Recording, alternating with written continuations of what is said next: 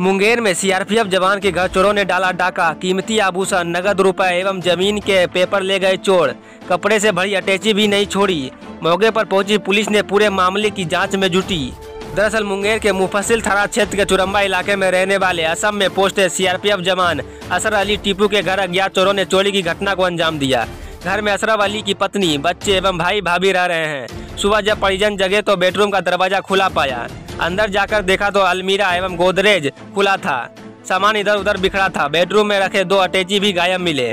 Police को सूचना दी गई। मुफसिल थाना अध्यक्ष आर के सिन्हा घटनास्थल पर पहुंचकर मामले की जाँच में जुट गई।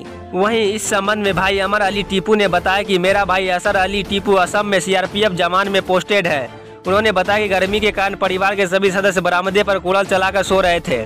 शायद रात दो बजे के आसपास चोर घर में घुसा और बेडरूम खोलकर अंदर गया। अंदर अलमीरा गोदरेज को खोलकर उसमें रखे कीमती जेवरात। पंद्रह हज़ार नगद एवं ज़मीन संबंधी कागजात एवं दो अटैची लेकर गया। अटैची में हथियार का लाइसेंस भी है। इस संबंध में मुफसिल थाना अध्यक्ष आर के सिन्हा ने कहा कि चोरी की घटना घटित होने की जानकारी मिली है। एक अटैची घर से थोड़ी दूर मोहम्मदिया रहमानी मदरसा के प्रांगण में फेंका हुआ मिला। घटना की जाँच की जा रही है।